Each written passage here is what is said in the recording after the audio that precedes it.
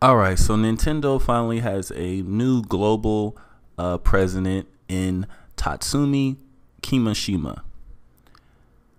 Now, as you can see, oh, wait a minute. Hold on a second. Wrong picture. There we go.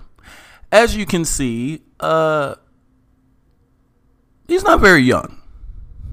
He's actually pretty old.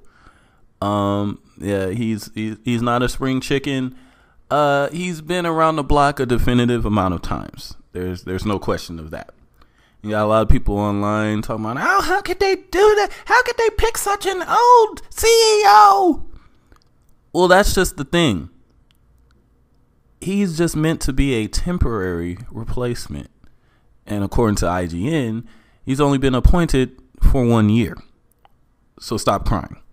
Now I'm going to tell you why this is actually a pretty good choice. Now I've seen a lot of people online were expecting Miyamoto to be the CEO.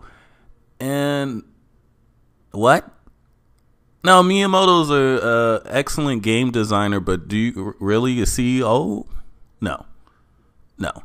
Miyamoto is a little bit too creative to have that kind of position. Like he, it, it, no, that's it. No, Miyamoto's not stable enough to be a CEO. He might wake up one day and decide to make the next Nintendo system out of mashed potatoes just because he was feeling it that day. No, Miyamoto could never be the CEO. Miyamoto doesn't want to be CEO.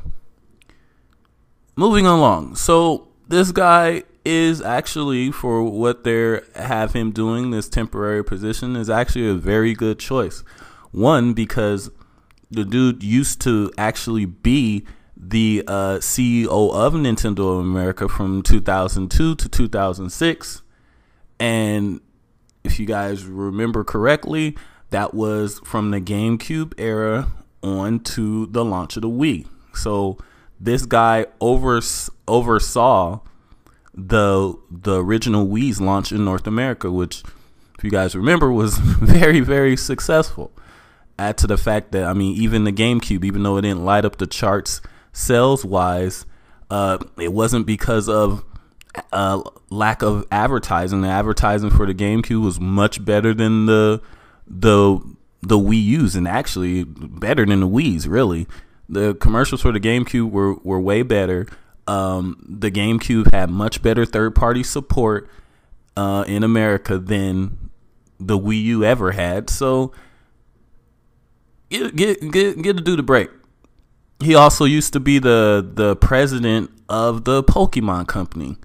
Turns out he's one of the main reasons why Pokemon is Pokemon games are even in North America. So dude looks like he is the best choice for the time. Now, they wanted to go with a younger person, but they didn't have anybody young that had that kind of experience. So this guy is probably going to end up training whoever the actual legit successor is uh, for this position. And the fact that he's the only really CEO in the history of Nintendo to actually live in North America for years, this guy's probably the, the, the best bet to do, especially with the launch of a new system. And it, it turns out that allegedly this dude even uh, was one of the only people at Nintendo to say that the Wii U was going to fail. He said that it was when they introduced it, he said that it was too close to the Wii and that was going to fail. So obviously, the guy kind of knows what he's talking about.